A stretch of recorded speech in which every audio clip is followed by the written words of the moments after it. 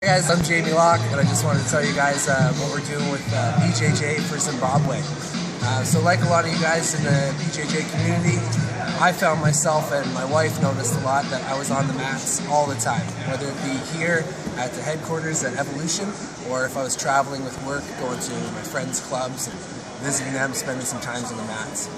So, with all that, um, everywhere I went, everybody had the same mindset let's share jujitsu, let's uh, share what we know, let's spread it to, to everybody else. And whenever we meet somebody who doesn't do jujitsu, we always say, hey, you gotta come try this thing, it's awesome, and you're gonna love it. So after all that, I thought to myself, how can we really spread this thing? How can we uh, use jujitsu to, to do something positive for, uh, for somebody who needs it? So after a little bit of research and looking around for different charities, I found at SOS Children's Villages. And I'll post a link to that on this video and be on the Facebook page as well. What the Children's Villages do is they uh, gather up some orphans who, who, whose families have been uh, either killed or uh, left them left them abandoned, and they gather them up and they give them uh, a place to, to live, a place to learn.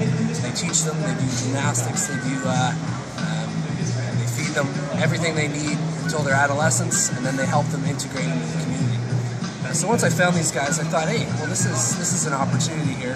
Um, so I looked around at all the different places. They, are all over the world, and uh, I found Zimbabwe. Zimbabwe is the third poorest country in Africa, and I said, hey, these guys could really use some help.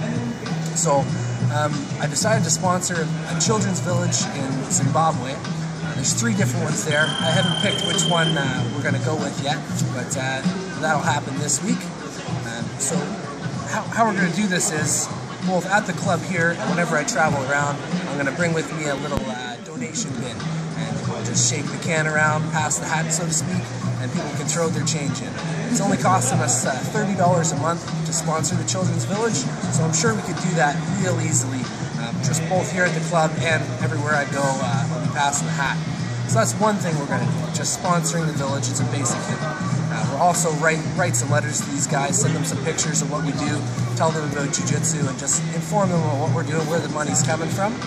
Uh, another thing we're going to do is uh, collect up some, some equipment and gis. So just like my old game this year, it's a little worse for wear. I don't really wear it too much. I can afford to get rid of this gi, uh, so I'm going to I'm gonna give that away. So any shape, any size martial arts equipment, we're going to gather it up in about a year or so, um, we'll bring the stuff to Zimbabwe. So whatever the village is, wherever it is that we're sponsoring, my wife and I will take all the gear that we've gathered and we'll deliver it to them.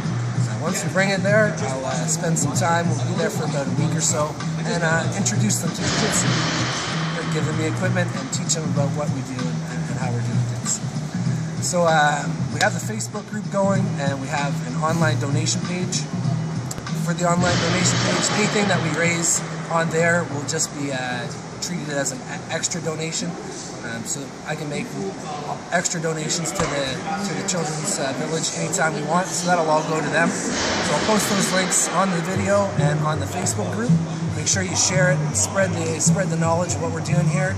And uh, we'll have some more perks to come. We're going to get some little patches for your gis, and uh, we have some instructors from around the country who are going to give uh, some perks to those who donate a substantial amount. So please like the Facebook group, share it, and uh, let's try to make some money for these guys. Thank you.